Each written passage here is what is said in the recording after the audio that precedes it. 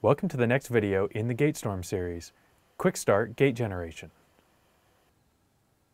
In this video, we're going to look at loading up a template and setting up a few complex lanes. Before we begin, if you need to reset your GateStorm back to its factory defaults, hold buttons 1 and 8 down while powering the GateStorm on. A screen will come up asking you if you want to reset to factory. Selecting OK will do so.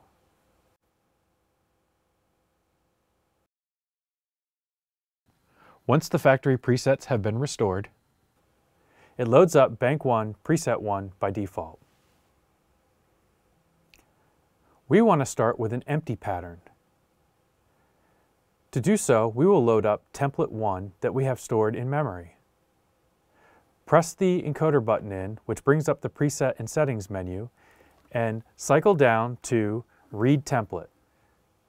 Select Read and pick Template 1. You can change templates to be whatever you want, but by factory defaults, template 1 is set up to be a generic set of nothing really going on for the complex lanes and some different divisions and multiplications for the simple lanes. Template 1 was designed to be a good place to start for when you're trying to learn how GateStorm works. The first four lanes are the complex lanes, which have no steps turned on. They all have length of 8, and you can see that their time base is 1. The next four are the simple lanes. They have a variety of different divide or multiplies, and currently their density setting is at 95%. Now, we've only just loaded something into Bank 1 Preset 1. It is not stored in that location. Patches are not stored until you actually save them.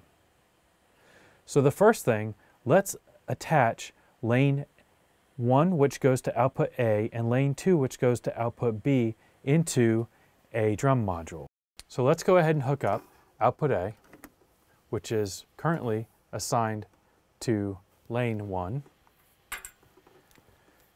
to the kick drum trigger and we'll set output B which is currently assigned lane 2 to the pitch CV of the kick drum.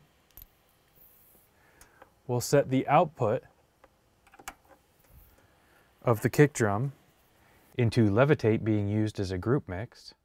And then the output of that into our mixer. So the first page here labeled steps can cycle through 1 through 8 and 9 through 16 of the steps. So we're going to go ahead and turn on a couple steps.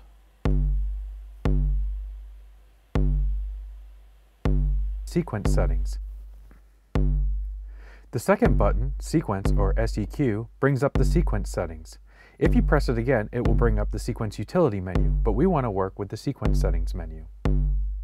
So we can change the length with the first selection.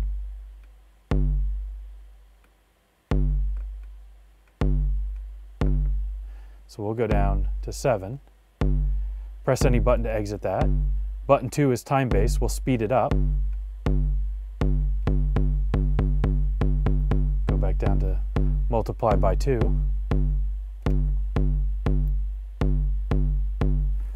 The third button is rotate active. What this means is it just rotates within the range that is currently active, so the seven steps that are active right now.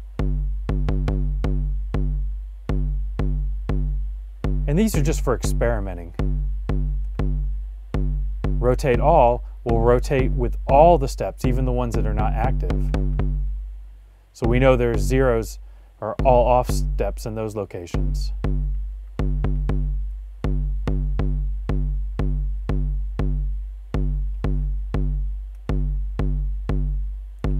Now, the fifth button is direction.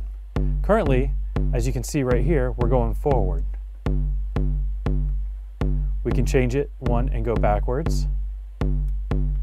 We can change it again and do palindrome. And then we have one-shot mode. So if we go ahead and take and hook up a trigger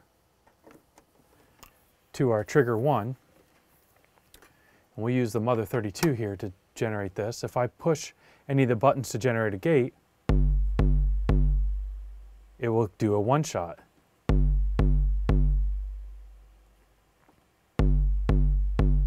Now, the way the system is set up right now, we're in sync mode, so the one shot occurs on timings of the master clock. So we'll go back to forward. The sixth button is invert. What it does is invert all the steps.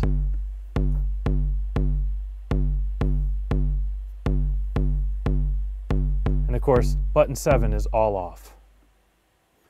You can do this if you quickly want to go in, shut them off, go back to the steps page.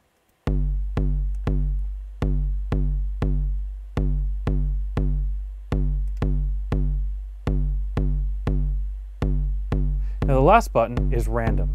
Now, right now when I hit random, nothing is happening. We're going to go through random settings in a lot more detail in one of the later videos, but I'm going to quickly show you how to go ahead and turn some of the random features on. So if you press the pulse width button twice, it brings up the random menu, and you can see who I have selected is channel 1, and I'm going to go ahead and turn steps to all, we'll turn time base on, and length on. And these just turn on and off that way. So now, if I go back to the sequence page and hit random, now it's going to randomize those settings. Now you'll notice here that you're only hearing when the steps aren't tied together. That's because the pulse width is set to full. So if I hit the pulse width button and I bring up this pulse width menu, right now we're set to one, but if I come down to half, now they're not going to be tied together.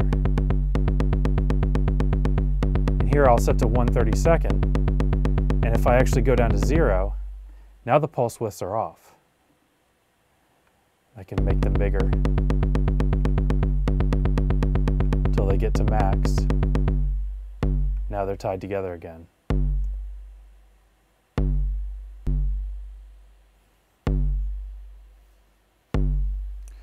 So let's randomize a couple more times. We'll go back to the sequence page.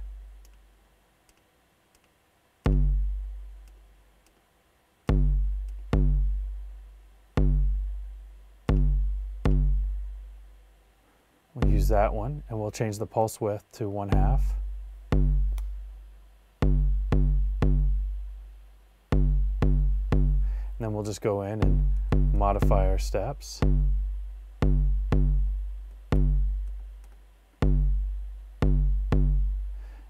Go in and let's change the time base up a little bit.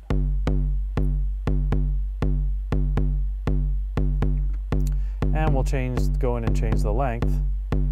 Let's go to 8. Now we know the second lane we have set up to do pitch changes on the kick.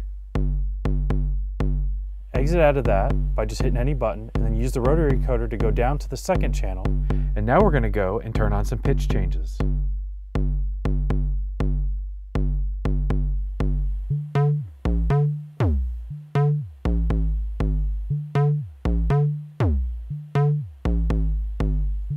as you can see, what's happening is this timing is different, and we can actually go in and set it to a different length as well. So we'll go down to four.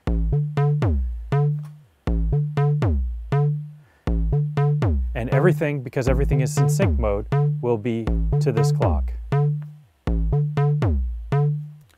So we could go in and change the time base on this second one to be much faster.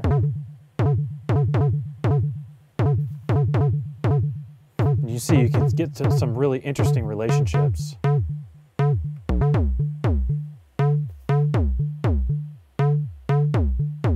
So that is our quick introduction to the complex lanes. In the next video, we're going to look at the simple lanes and how to save our preset.